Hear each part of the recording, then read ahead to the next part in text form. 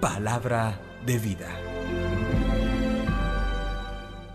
De la profecía de Malaquías capítulo 3 versículos 1 al 4, 23 al 24. Esto dice el Señor Dios. Voy a enviar a mi mensajero para que prepare el camino ante mí. De repente, llegará a su santuario el Señor a quien ustedes andan buscando, y el mensajero de la alianza en quien ustedes se regocijan. Miren que está llegando, dice el Señor del universo. ¿Quién resistirá el día de su llegada? ¿Quién se mantendrá en pie ante su mirada? Pues es como fuego de fundidor, como lejía de lavadero. Se sentará como fundidor que refina la plata. Refinará a los levitas y los acrisolará como oro y plata. Y el Señor recibirá ofrenda y oblación justas. Entonces agradará al Señor la ofrenda de Judá y de Jerusalén, como en tiempos pasados, como antaño. Miren, les envío al profeta Elías antes de que venga el día del Señor, día grande y terrible.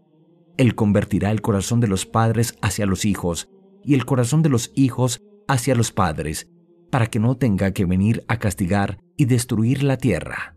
Palabra de Dios, te alabamos Señor. Salmo 25. Levántense, alcen la cabeza, se acerca su liberación. Señor, enséñame tus caminos, instruyeme en tus sendas, haz que camine con lealtad, enséñame, porque tú eres mi Dios y Salvador. Levántense, alcen la cabeza, se acerca su liberación. El Señor es bueno y es recto, y enseña el camino a los pecadores. Hace caminar a los humildes con rectitud, enseña su camino a los humildes. Levántense, alcen la cabeza, se acerca su liberación. Las sendas del Señor son misericordia y lealtad para los que guardan su alianza y sus mandatos. El Señor se confía a los que le temen y les da a conocer su alianza. Levántense, alcen la cabeza, se acerca su liberación.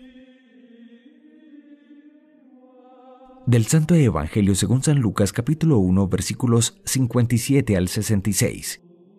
A Isabel se le cumplió el tiempo del parto y dio a luz un hijo. Se enteraron sus vecinos y parientes de que el Señor le había hecho una gran misericordia y se alegraban con ella.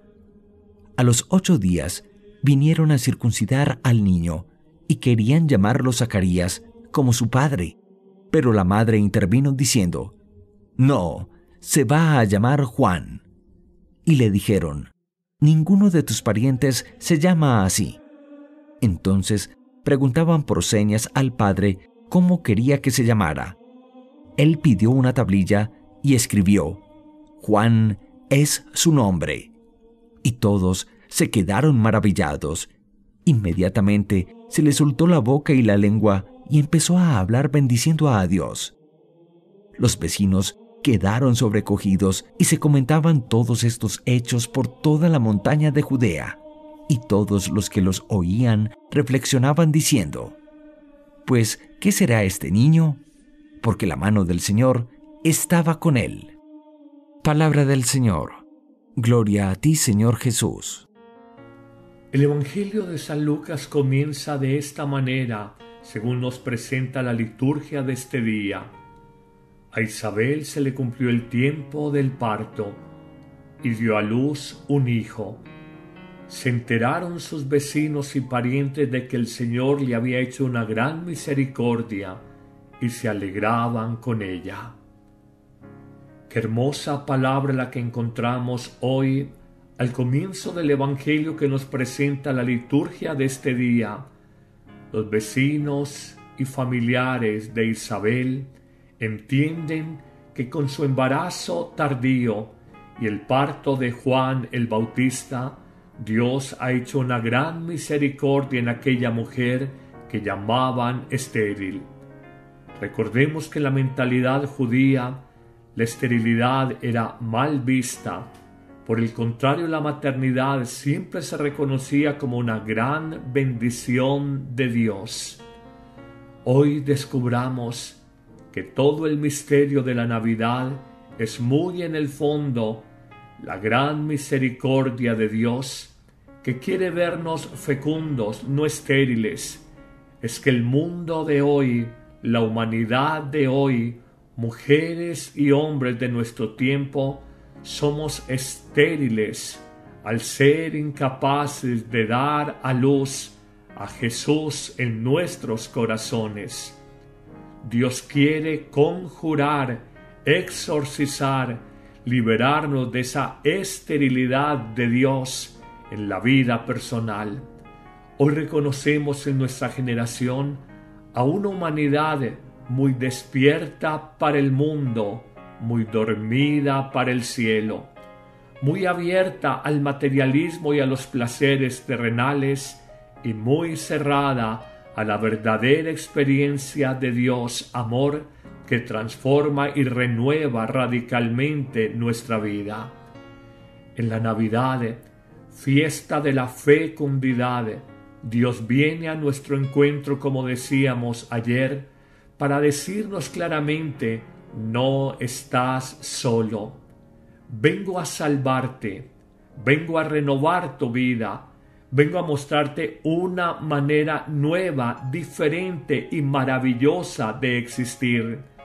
No puedes ser que tu vida sea una constante esclavitud del trabajar, del tener, del andar mendigando afectos humanos. No puede ser que tu vida se vuelva miserable, esclava de pagar una hipoteca, un crédito durante años. No puede ser que tu vida sea solamente conseguir y acumular algunos bienes que con el paso del tiempo se deterioran y se pierden. La vida es más grande, el misterio de la existencia es mucho más alto y solo en el niño Jesús, que en la simplicidad de un establo o pesebrera nos nace, se nos ilumina y se nos aclara este don tan grande para la humanidad. Ese niño en su indefensión es omnipotente, es todopoderoso y nos quiere señalar que vino a salvarnos de nosotros mismos, de nuestra esclavitud del pecado, de nuestra incapacidad para amar, de nuestra incapacidad para relacionarnos sana y sólidamente con los demás. Hoy el Señor viene a tu encuentro y al mío y nos dice, quiero que seas una mujer, un hombre nuevos. Quiero salvarte de las esclavitudes que hay en tu corazón.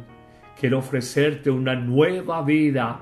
Aprende a conocerla a partir de mi encarnación, que empieza la carrera de la vida, 33 años de existencia intramundana en esta tierra a partir del seno virginal de María y el alumbramiento que celebramos precisamente en próximas horas. Hoy el Señor te dice, abre el corazón para recibir las misericordias de Dios.